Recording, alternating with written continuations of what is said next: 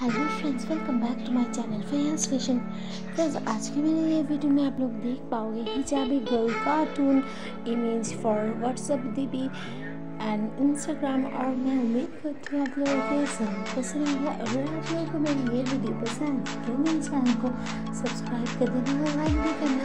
और अपने फ्रेंड्स लोग के साथ ऐसे ज़्यादा से ज़्यादा शेयर करें। Bye bye and take care friends और फ्रेंड्स ये वीडियो को अंदर ज़रूर देखो। Bye bye